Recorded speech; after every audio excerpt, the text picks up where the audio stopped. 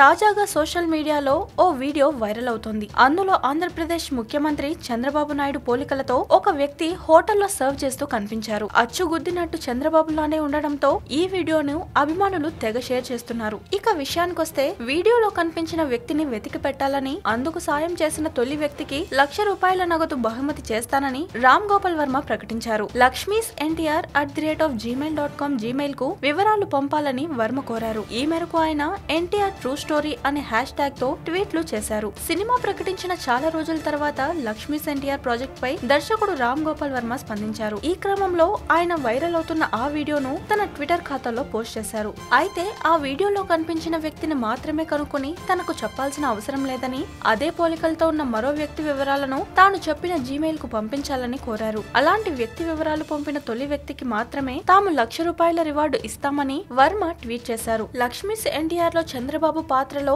ఆ వ్యక్తికి వర్మ ఛాన్స్ ఇవ్వనున్నారు అంటూ నెటిజన్లు కామెంట్లు పెడుతున్నారు. అయితే ఎన్టీఆర్ గారి భార్య లక్ష్మీ పార్వతి జీవితం ఆధారంగా తేనున్న మూవీ లాంచింగ్ ఈవెంట్ను దసరా రోజు నిర్వహించనున్నట్లు వర్మ తెలిపారు. తిరుపతిలో అక్టోబర్ పంతొమ్మిదిన ఈ సినిమాకు శ్రీకారం చుట్టనున్నట్లు వర్మ ఇటీవల పోస్ట్ చేశారు. వచ్చే ఏడాది జనవరి నెలాఖరుకి సినిమా పూర్తి చేసి విడుదల చేయనున్నట్లు ప్రకటించారు.